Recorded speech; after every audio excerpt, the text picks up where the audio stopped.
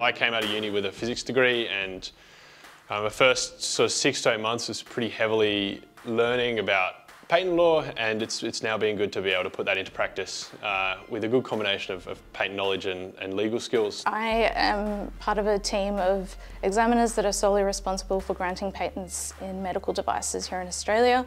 The job is quite intellectually stimulating. Um, it's got a great balance of autonomous work as well as working collaboratively with other patent examiners. I work in the chemical section dealing with a lot of patent applications towards therapeutic drugs.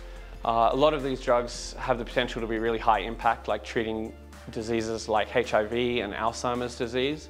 So I find it very gratifying to be involved in the process of all these uh, new and exciting drugs. Being a patent examiner gives me the opportunity to be one of the first people to see new inventions. Because I examine medical devices, I see real world applications for these. So I know that a lot of the inventions that I'm examining will go on to save lives. I find it really great that every case just like every day is a little bit different. Um, so I get to use my scientific background, my chemistry background in ways that I never would have imagined while doing my studies. I think our managers always very supportive to our personal um, development. And we also have online learning modules uh, on the website.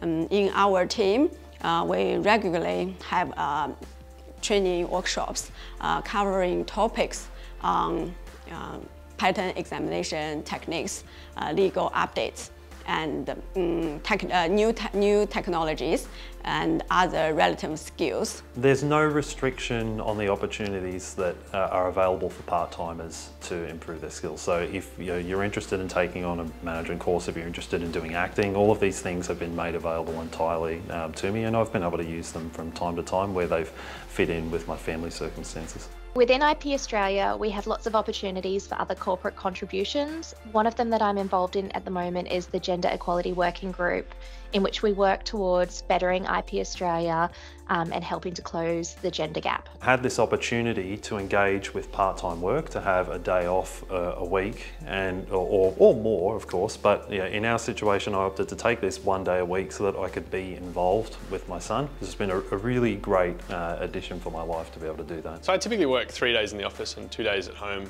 uh, per week, and it's, it's been good for me. Um, I you know, obviously enjoy working from home as well. Um, kind of gives me a certain amount of freedom to, to do yeah, other things, particularly also making use of flex time, which you may be aware of. Uh, and so I, I, quite often will start late on a Wednesday and I can go out and, and to play golf Wednesday morning. Most of our team is actually remote workers.